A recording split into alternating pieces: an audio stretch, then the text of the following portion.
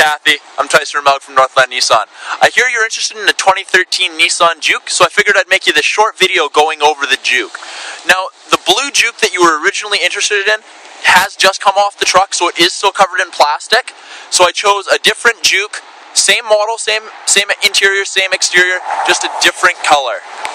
So here it is. It's the gray instead of the blue. Still looks awesome. It's very unique looking.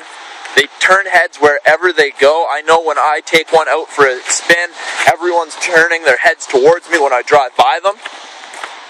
Just at the back here, got hatchback style, one touch open.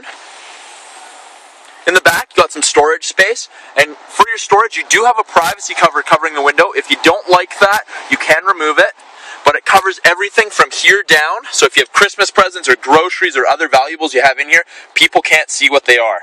Now it is a 60-40 split seat ahead of me. So what that means is it folds down in two sections. So there is actually quite a lot of space in the Juke for storage or longer items. Kind of deceiving by how the Juke looks from the outside. Go to the second row. The seats fold down super easy. They fold up super easy as well back seat. You can fit three people across.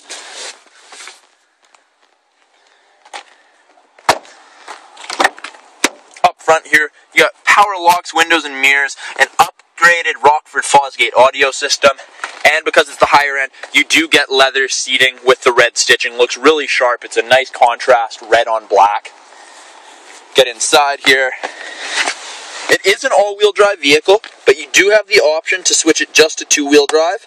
So in the summer when you don't need the all-wheel drive uh, traction, you can switch to two-wheel drive to save fuel economy. On the steering wheel, I've got Bluetooth and music controls here, as well as cruise controls. It is a push-button start, so my foot's on the brake, keys in my pocket, I hit the start button, and on turns the vehicle. Now, this is the intelligent key. The great thing about the intelligent key is it's impossible to lock your key in your car, which I love. I've accidentally left keys in the car before and it hasn't locked. I've been lucky. Up top here, you've got the navigation system. It does come with XM satellite radio, which is really nice. Just wait for the screen to load. Takes a minute when it first starts up.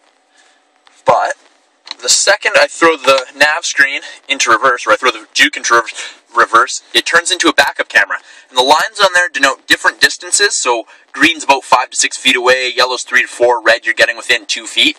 And then right at the bottom there, it does show you your bumper so you have something to relate to when backing up. You do get the I-CON system with this Juke, so that's the climate control here. So you can choose your temperature, where the air is coming from, the fan strength, and then there's drive mode. Changes all the buttons from climate to drive mode. You get to choose your drive mode between eco mode, you save a ton of fuel in that, especially in city. Sport mode stiffens your suspension and your steering, it's more like a sports car. And you get normal mode, which is just your normal everyday driving. You do also get the heated seats, which is really nice with the leather. They heat up super fast, and you can leave them turned on overnight. So when you come out, turn your vehicle on, you can leave right away. Your seats will be heated by the time you come back in 5 10 minutes to drive away. And you do get the sunroof with this vehicle, which is really nice. Adds a lot of light to the vehicle.